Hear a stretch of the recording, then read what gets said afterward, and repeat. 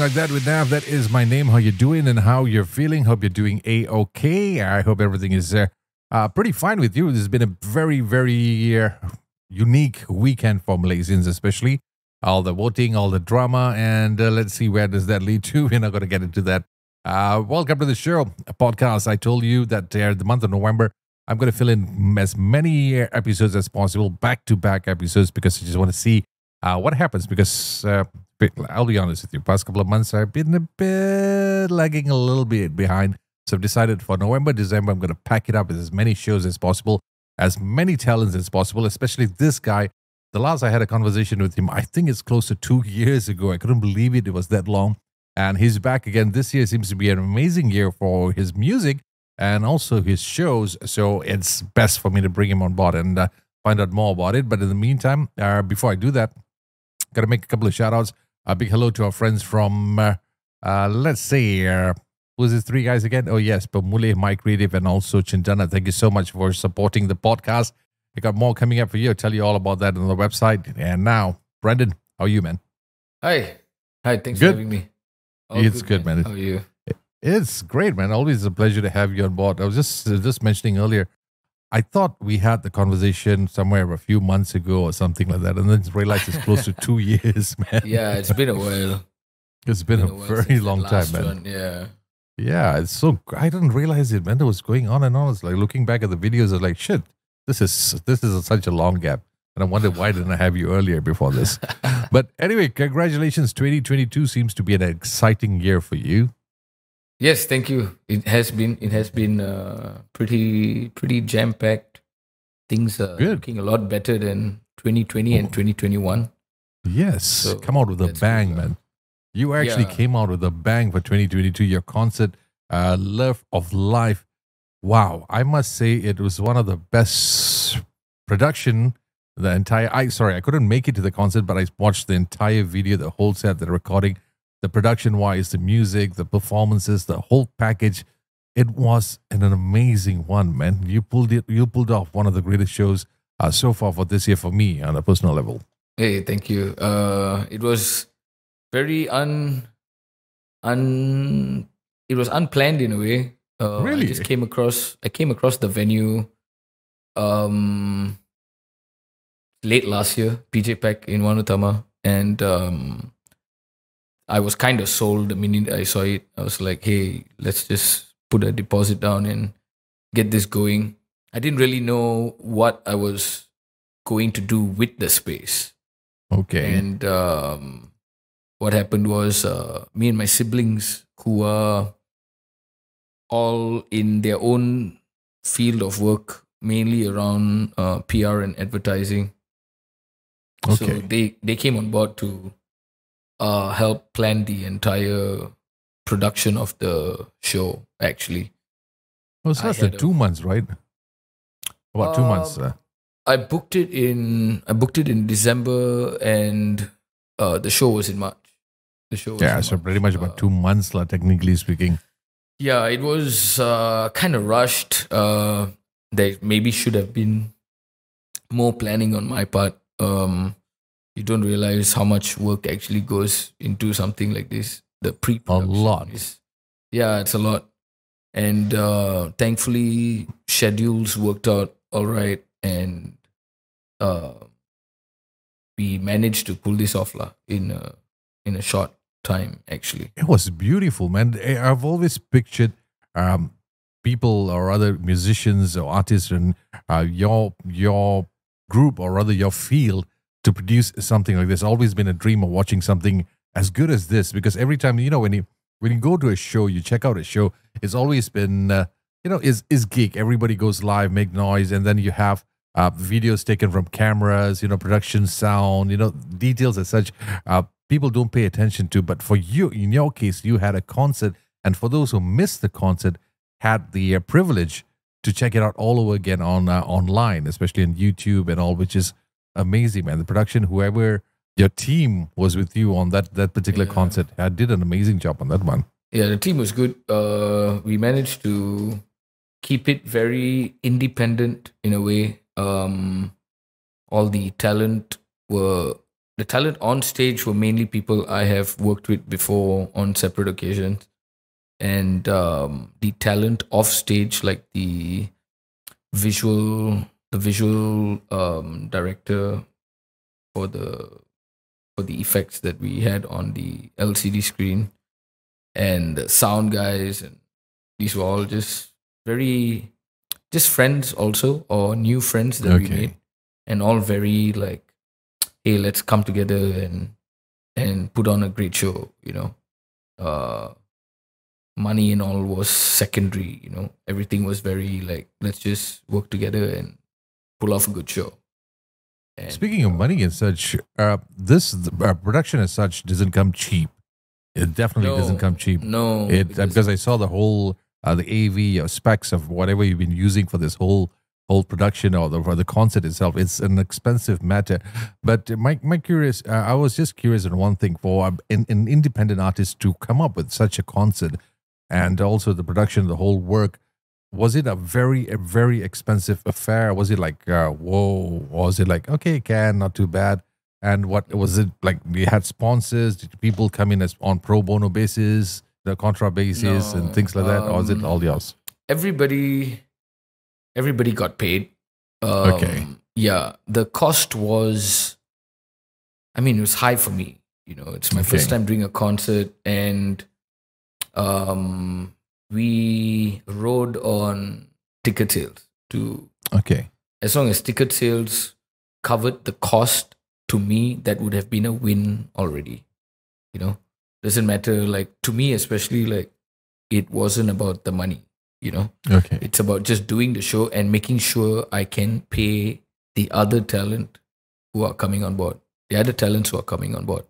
Okay. because you know it's their work and their time. Like i can do something for free for myself that's fine but when i'm asking other people other professionals to come on board and um, creatively input and uh, invest and then with your time as well like you know everybody needs to work you know i understand that very much as well so um thankfully like we managed to we managed to cover the cost of Okay. everything just from ticket sales and um and a bit more you know so to me it was a win because um initially it seemed like we weren't going to break even and even if we didn't break even um the cost of not breaking even that would have been okay Okay. because like you know, just I guess you fall short of a couple of thousand bucks or something. It's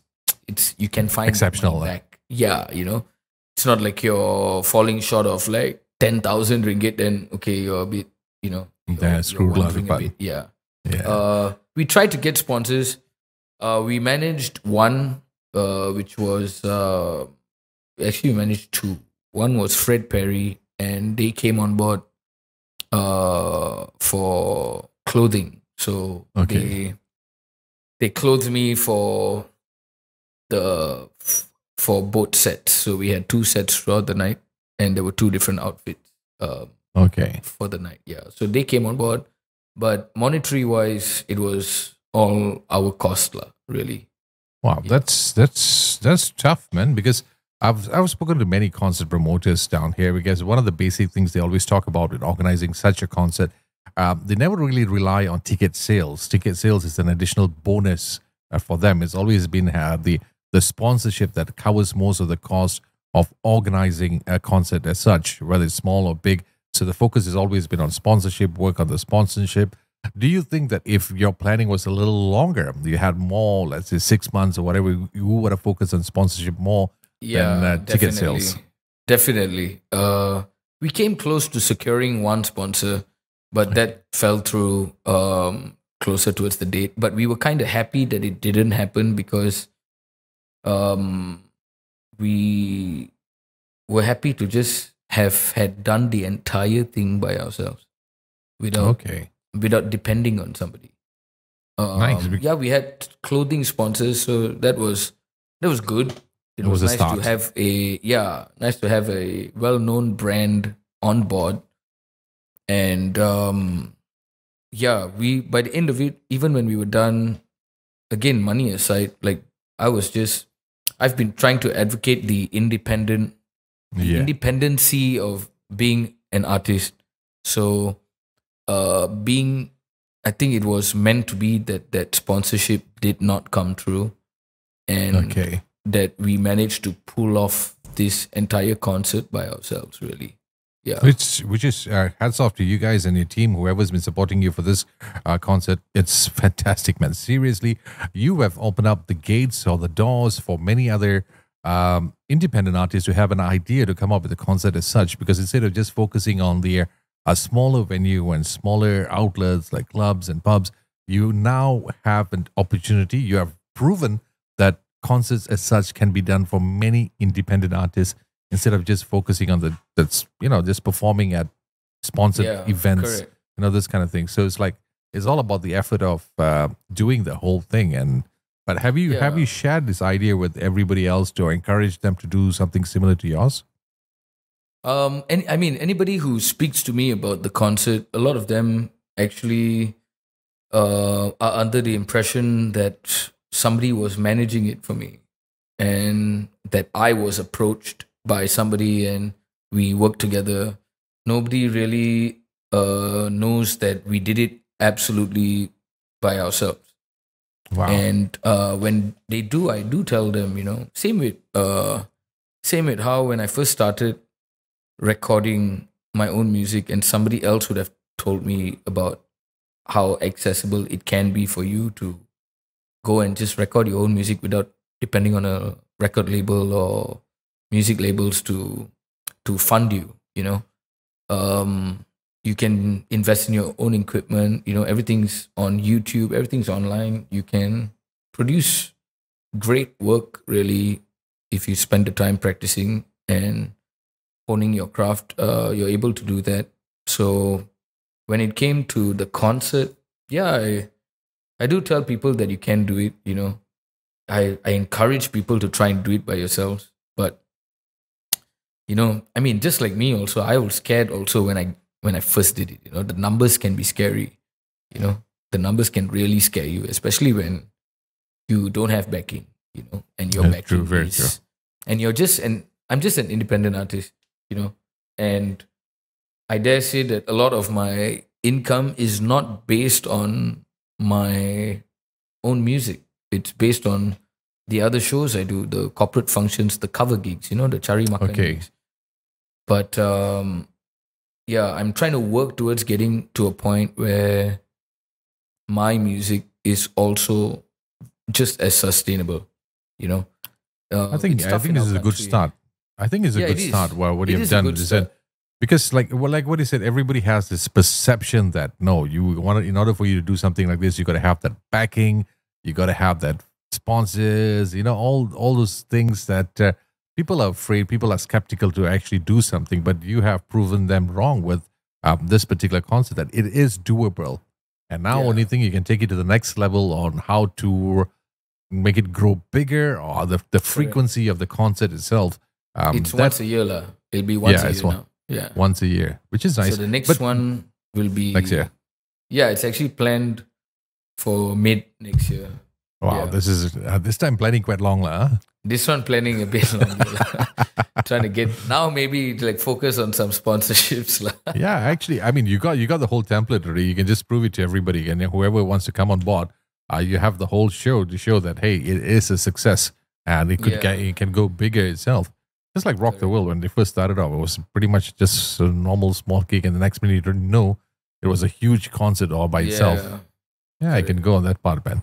But uh, have you ever considered, since you are championing for the independent scene, you have been supporting the music scene a lot on the independent side, have you ever thought about having other concerts for somebody else or help organize it? You know, like coming up, I wouldn't want to call you an event management company or talent uh, management company, but uh, to have organize to to organize more of these sorts of concerts for others.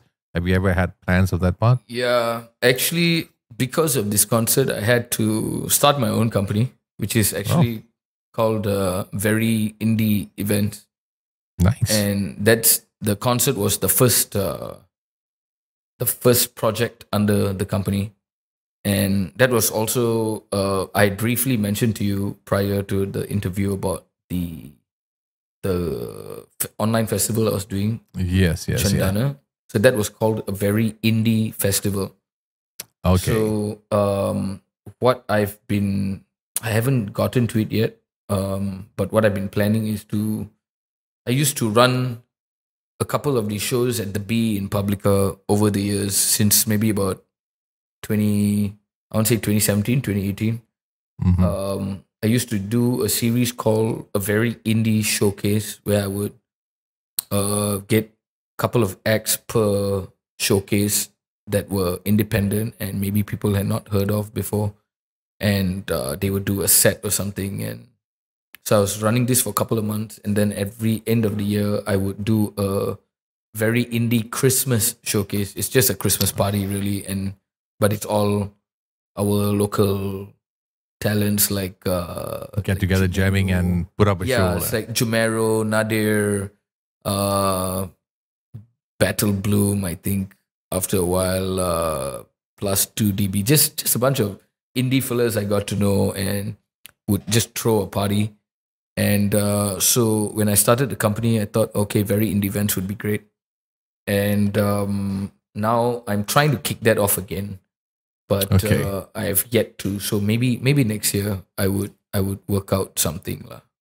Nice, nice. It's nice to see more gigs because I'm I was one of the happiest guys uh, when I was looking through all social media. We were receiving your WhatsApp messages. I apart from uh, you, others were sending in message. Dude, this, geeks here there. So there was a lot of gigs going on back to back here, there, and everywhere, which is amazing. Which is nice to see more Yeah. gigs coming out. Uh, but at the very same time, I'm also a bit uh, worried that uh, too many of it is also bad for you not only for you, uh, as in your shows, too many of your shows, but too many shows going on back to back. Your crowd seems to be uh, spread out or having the options to choose which one to go and how frequent you have to go to. Yeah. So, which is kind of uh, you know, it's not it's not like a, you don't support the artist, but you just have so many options to look at. So the cake is getting the slice is getting thinner and thinner by the day because there's too many on going on simultaneously. That's that seems to be one of the issues I've I've noticed for me personally. Actually, Yeah, it's true. Uh, I've been told about it. I've been advised about it as well. Uh, because um, it is, if you want to think about it, it's detrimental a bit to the brand that yeah, is my music. So, you know, if you're like gonna do a ticketed showcase somewhere, somebody will be like, "Oh, why do I need to go for this when he's playing for free next week?" yeah, at some other venue. So that just comes down to maybe um, you deciding which shows you promote and which you don't. Um, okay, Because to me, I always believe as if I'm playing at a venue that has live music, it is not the artist, whoever's performing really, it's not their Mhm. job to bring people yeah, to the venue. You know, you have your venue, it's actually your your- responsibility. as the venue owner yeah it's your responsibility to bring people there's still a there's still um slightly above minority impression by venue organizers or venue owners that we need Yeah. to bring people you know Yeah, I had I had this exact conversation with Julio a couple of months back, or is it last year? Uh, this this was the thing is I, was worried also because uh, this happened with the DJ scene. You see, Oh. at uh, initial stages of DJs, your job was to come, play music, party on, and that's about it. So the promotion, Yeah. marketing, uh, whether the customers come in or whoever, that's not the DJ's problem. And Yeah, then correct. it came to a certain point that the question started in, okay, fine, if I want to feature you or hire you to perform in my club, how many people can you bring in? What is your marketing Yeah. plan?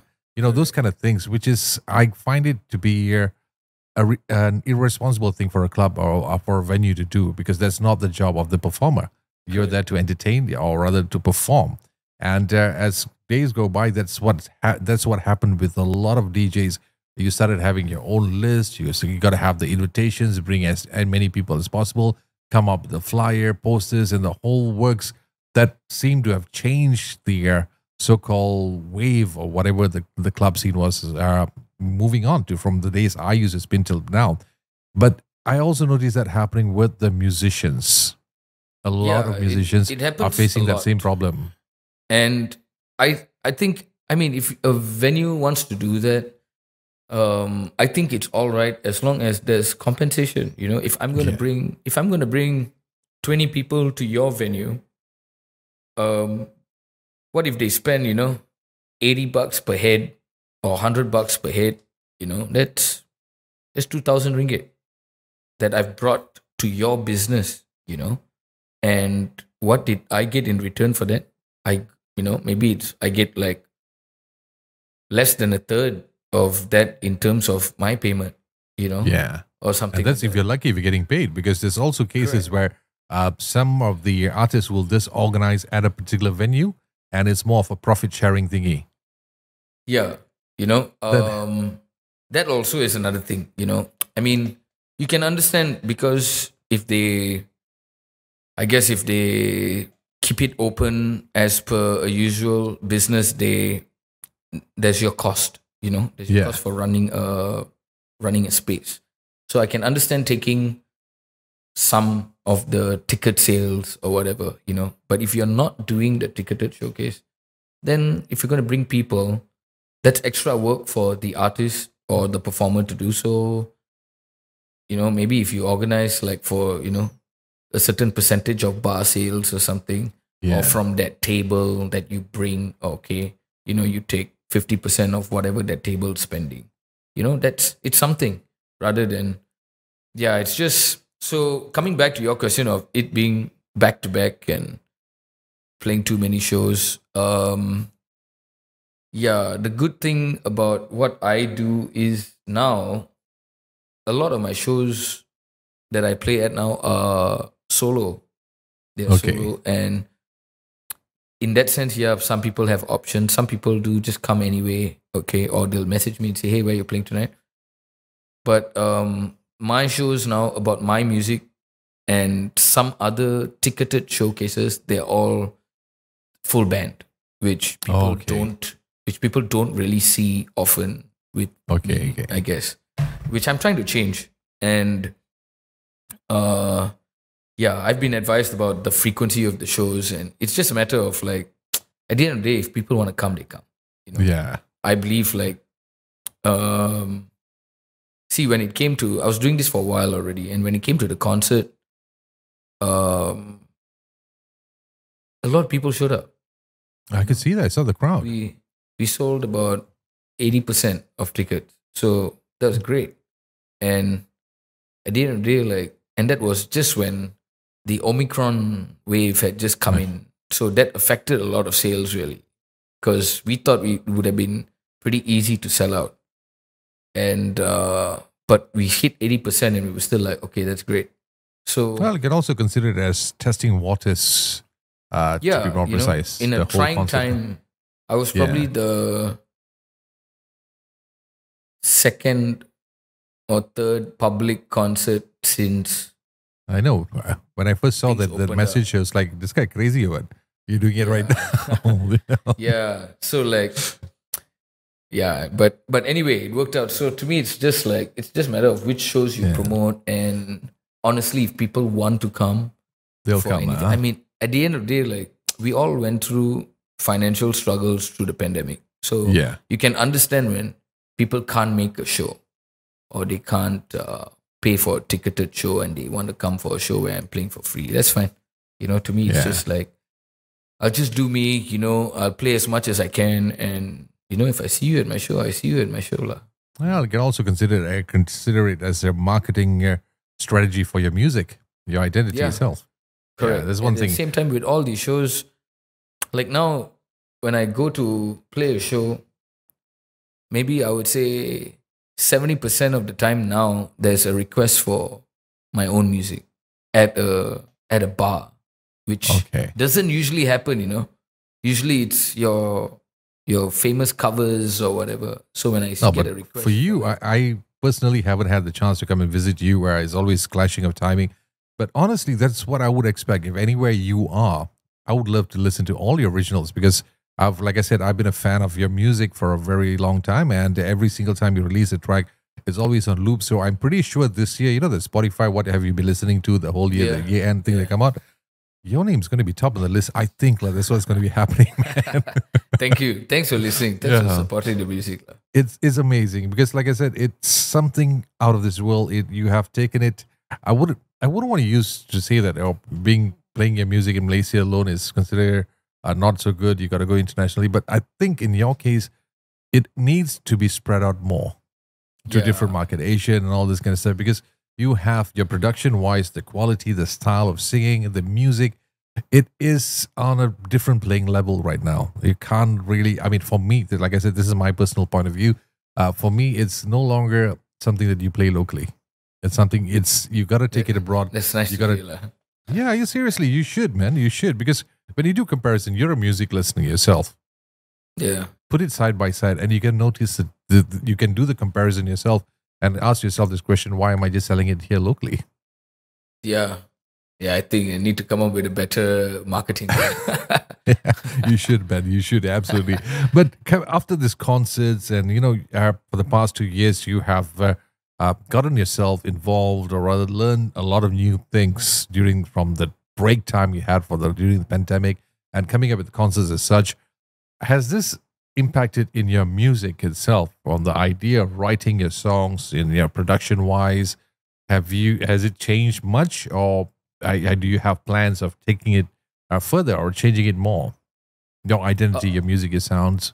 Um, so what has happened right now in the last couple of months, I've managed to put together a permanent band. So the bands I used to work with before this for any of my original music, they've all been sessionists from different uh from different projects that we've worked on separately. And just recently I sat down with a couple of uh, musicians who I kind of handpicked in a way Okay. to ask them if they would be keen on committing to being a part of my outfit so that um, I have this consistent band. We're taking a direction into the doing the full band sound thing. Okay. So, um, which has not been done before. Everything has been kind of acoustic. Um, only my third record was full band, but um, that was done again with sessionists, and it's not done with people who've been, you know, say working with me for couple of years non-stop. Okay. You know, so I'm trying to start that now so that by the time we get to the next concert, um, it would more be it would be more Complete. like yeah in the sense that, and there's more synergy there's more chemistry and Yeah. everybody's treating the music as their own rather Sure. than just uh my music being translated into a band setting you know Okay. Okay. so now we are now we are working working on new stuff and reworking old stuff and um, hopefully by not hopefully by the next concert uh this will be showcased uh i guess in a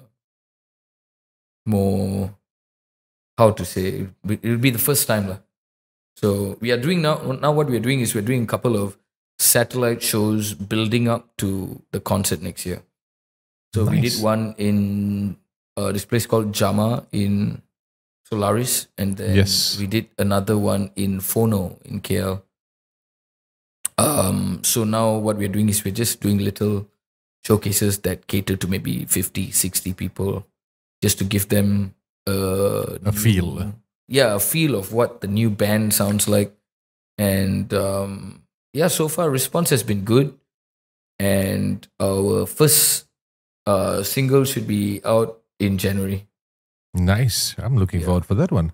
But for you, as for you, as Brendan De Cruz, a solo artist, all this while coming up playing with the band, um, is it is it tough to have that so-called you know more people involved, or in, especially when it comes to your performances and such? Is it difficult? Or is it easy, or is it something that you've been anticipating for a very long time? Which one is it I- for you? Is it I think the only difficult part about being in a band setting now is uh, organizing schedules, really, because Okay. everybody is busy. Everybody's got their own work or something. You know, it's it's not just their own work; it's their own personal lives, and then now you're factoring in something constant and consistent and kind of permanent into everybody's lives. So um, finding a balance of that has been the biggest challenge, I think. But aside from that, music wise, it is easy. Easy Ah. because the the musicians that have agreed to come on board, they are all just fantastic in their own in their own instrument. You know? Okay. And it's so easy to translate something or send a message across to uh to to see where the music goes you know to to explore and experiment. It takes a short while. You know of course with anything it's trial and error but the understanding between everybody is very is very um easy. It's very comfortable. It's very comfortable Okay. and the only thing i'm getting used to is i'm so used to my own perspective of how it should sound. Whereas like when you are talking to a drummer then the drummer would have a different perspective of what should happen here. The guitarist would be like oh maybe you should do this here. And then trying to then when i give them a demo now of something i've written it near immediately changes its entire course and it becomes this whole other experience. And i'm also like wow i didn't i didn't expect that. I didn't even see it happening. And so it's in that in that way it's very comfortable. It's fun. And it's uh it's a new experience lah. it's a new experience. Well, at least at least it's working out for you because it's not e- not not an easy task, especially if you've been a solo artist. Uh, you have your idea, you have that whole plan of how your music should sound, uh, the direction of it, and all. And when you have other inputs, it kinds not it doesn't really work out for many people because it's like, no, this is what I wanted to sound like. This is how it should be like. So when you have a band, when you have multiple inputs as such, you got to have people that uh, understands your music better. yeah So when you enhance it, it doesn't have any much of a problem there. But uh, is this lineup a fixed lineup? Have you like okay, this is it? Uh, you no more changes in the band lineup? Yeah, that's the permanent lineup. Uh, Who's we who? have we have uh Ashwin Gobinath. I Okay. think you I think you had Yes, I did. on- We have I Ashwin on with a couple- drums. Um, we have Kiran Jumawan on lead guitar. Okay, Um, Jamie Gunther, who I knew she was going to be there. yeah, Jamie on bass, and uh, and Gabriel Gabriel Januarius on keys. Yeah, This is a good lineup, man. yeah. That's a very good lineup. Yeah, it's a good lineup. Like they are, all of them actually are pretty intimidating sometimes because like they're so they're so good at what they do. Like it's I sometimes feel like whoa man, like Step man, up, step up, are- step up. Yeah, yeah, I gotta up my game here.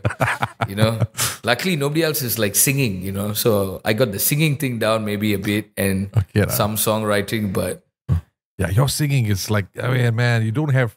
I mean, tell me honestly, how many of them have your style of singing or your vocals, man? It's like I, I'll be honest with you, lady. It's like every time I listen to you, I get so jealous. It's like shit, man. If you only whack this fella, why does he have voice like that and I don't have it? Why can he sing like this and I can't? You know that that frustration is there. I'll tell you. I'll admit it, man. can man, just Oh. try me, just practice. No, trust me. I did, it's like we suffered enough during the pandemic. We do not need any more suffering. but uh, speaking of music, uh, you uh, just before you came up with the get, uh, get your vote, uh, you had a single called "You" released this year, right? Yes, correct. And the production was it all you, or did you have people involved uh, coming up with the concept of that song? you was me it was me entirely me the track before that also our worlds Yeah, that was also entirely me and just me in my little studio thing here I kind of like the Mm. whole concept was easy. Just walk around with the guitar from one spot to another spot. Your production has that was has- that was not you actually that was uh that Which was, was love Lover. Okay, that okay, was okay. love yeah that you was, was, you was which one? huh? you you just Did came you- out uh you just came out uh in August. I think Yeah, August. in Yeah. Love So that one doesn't have a music video. No, it doesn't have. A Okay, okay. Then I got myself Yeah. mixed up with the other one and this. Okay. I was like they, watching they, the videos. They kind of sound similar. I, I can Okay, understand yeah. that. Then you came up with uh, uh, get your vote. I kind of like the music video because your your image this year with the long hair and all, it's like, ooh, you It's all pandemic lah. Uh, that's what I was wondering. It's like, shit, how, since when did he decide? What made you decide to grow your hair and start out going with this look, man? Any any specific reason No, because we couldn't image? go to a we couldn't go to a barber for a very long time okay. when it wasn't allowed, and I was initially very, very cautious about COVID, as anybody was. Yeah. So I just stayed away, and then next thing you know, my hair was long, and I was like, just leave it like hack. Just, Just leave it like, it's a good look on you, man. It's a good look leave on you. it. Uh, yeah. get your vote was just a. I won't call it a single. It was just uh, A a promo. like. little, just a little project. I just simply. But Yeah. surprising enough, the, I, the music video was nice, man. I, I really liked the music video.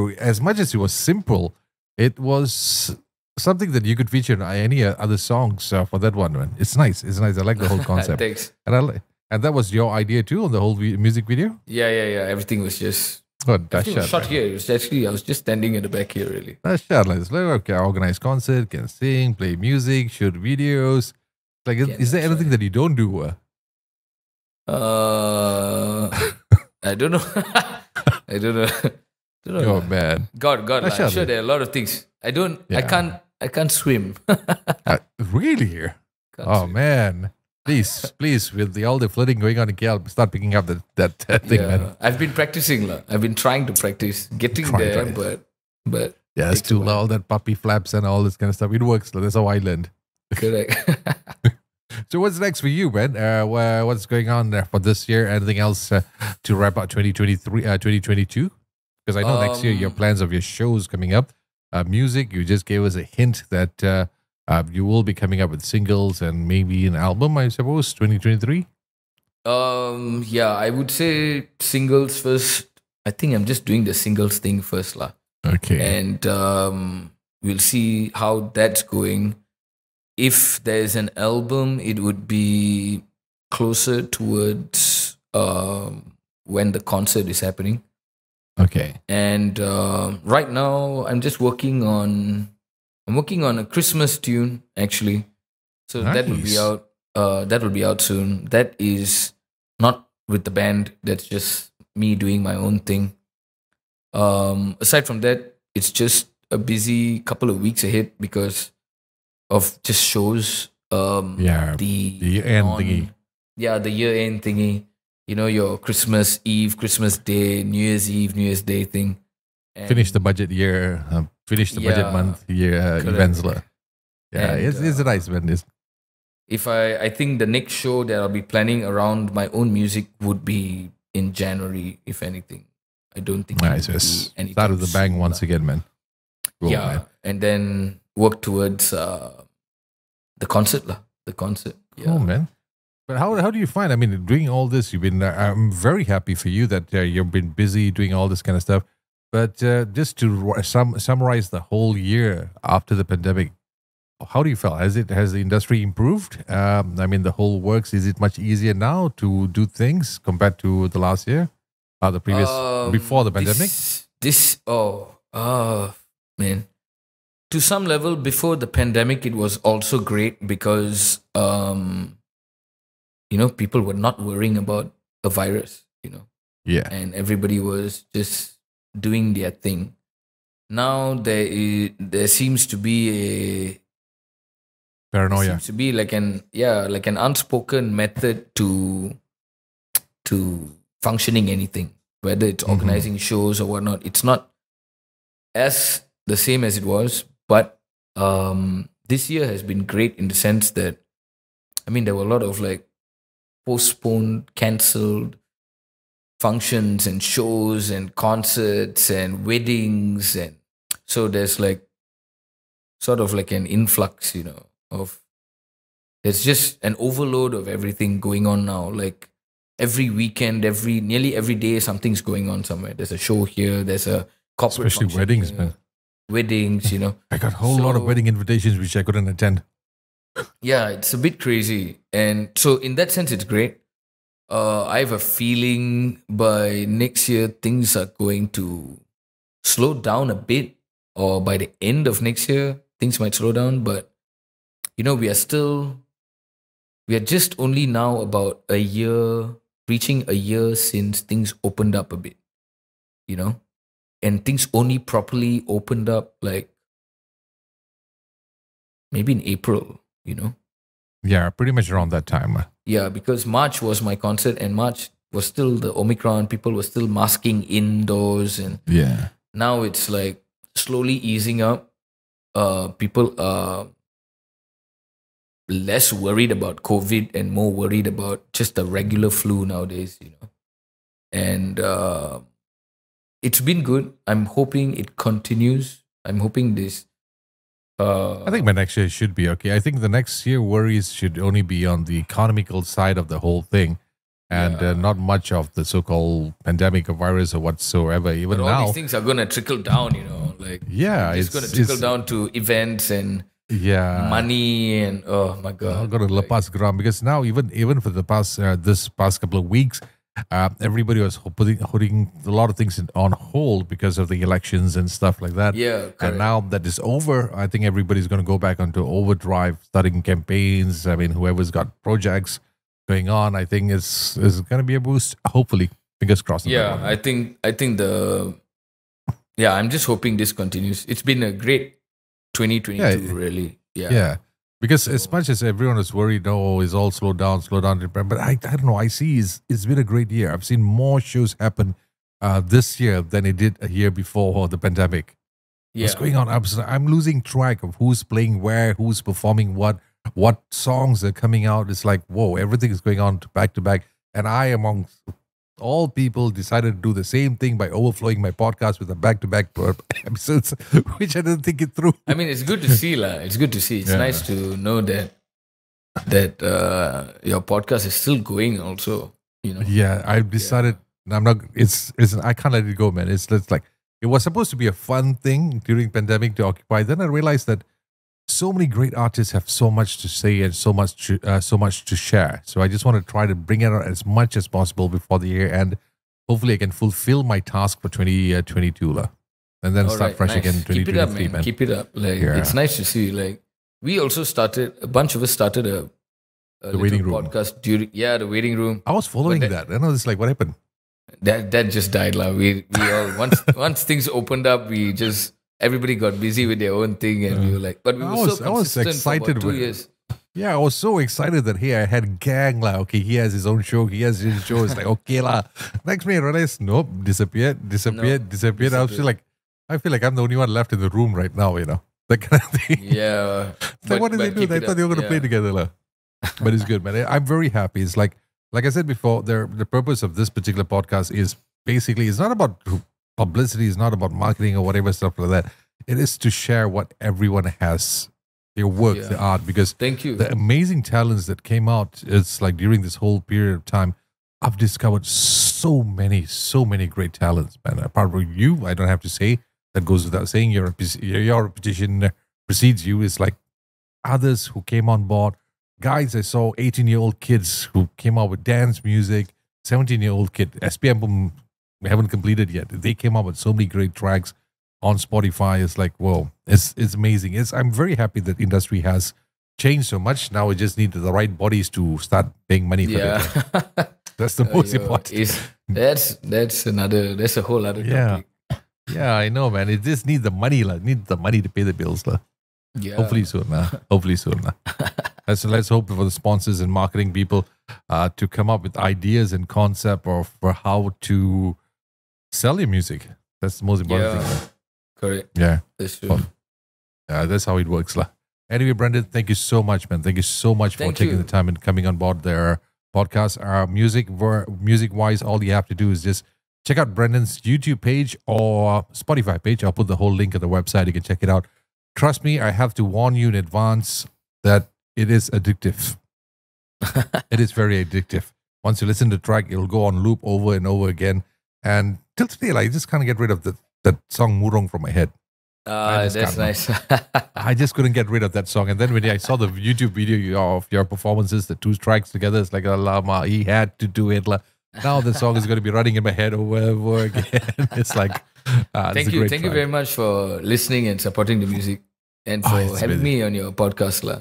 Thank, you. man. It's a pleasure. Uh, thank you so much. Hopefully, you don't have to wait another two years before the next chat. Hey, no, let's not. Yeah, well, let's not wait.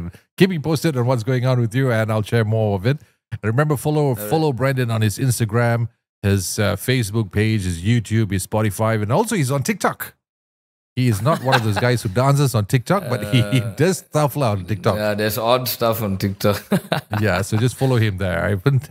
Do you dance? No. Do you dance on TikTok? no, I haven't no, seen any videos yet. no, I've Okay, not good. Don't- danced. Yeah, not don't- don't. unless it's like you know, it's at a party and I'm having a good time. Yeah, not Yeah, not for recording. Because everybody seems to be trying to dance on TikTok. I don't know why. For some particular reason. I don't know, it's a man. thing. It's, the fever. It's the fever. huh? Let's find out what happens next. You never know. lah, Next year, you come to me and say, Yeah, we started dancing on TikTok with my new band. oh, that would be the day. Anything could happen. Anything could happen. could Brendan, thank you so much, Brody. I'll see you in the Chief. future and hopefully catch one of your shows, upcoming shows. Anything is open for public uh, in the next couple of weeks? Um. Oh, public. What is it today? Oh, tomorrow. The next two days, I'm in Penang. Actually, Okay. I'm playing in China House and another place called Mike's Place in Love Lane. Okay. Um, Thursday, I'm at a venue in Publika called Elephant Rock. nice. and Nice. um, Friday and Saturday, I'm in Langkawi. Supposedly, Whoa. Yeah. Nice it's place, a- man. Nice place to jam there. yeah, it's a busy week. It's a busy week. Good. Good. It fills the pocket. It grow, grows your bank account. So no complaints. No complaints. Yeah, man. Take at it. I'll have All a right. chat with you Take soon, care. man. See you. Bye. Bye.